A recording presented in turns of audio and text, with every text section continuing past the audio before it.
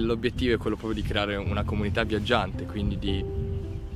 creare un gruppo che condivida eh, dei valori, delle idee e non abbia paura di aprirsi l'uno con l'altro.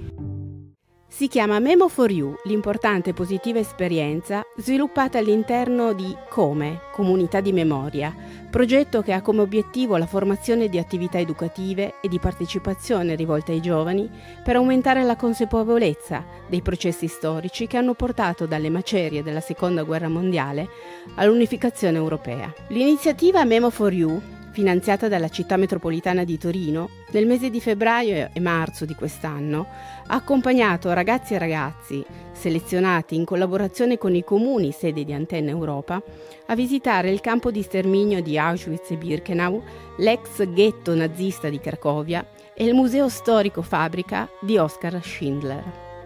Un'esperienza forte e profonda che è stata condivisa con le associazioni Deina e Spostiamo Mare Monti. Siamo tornati dal viaggio a Cracovia e abbiamo incontrato i ragazzi e le ragazze che hanno partecipato a questo viaggio ed è stato molto emozionante vedere come loro a freddo dopo il viaggio hanno voluto condividere con noi quanto questo viaggio sia stato emotivamente importante ma anche eh, da un punto di vista relazionale, hanno costruito gruppo, si sono conosciuti, si sono incontrati, si sono confrontati e hanno cominciato insieme a pensare a un mondo nel quale possano fare la differenza. Siamo molto contenti perché questo era il primo viaggio organizzato con la città metropolitana, un viaggio che è stato molto intenso, un percorso che è durato mesi nella preparazione precedente, che ha coinvolto tutti questi ragazzi e queste ragazze della provincia di Torino e speriamo che sia l'inizio di un percorso che durerà ancora molti anni. Grazie al progetto Memo for You abbiamo avuto la possibilità eh, con i ragazzi di sentire storie e testimonianze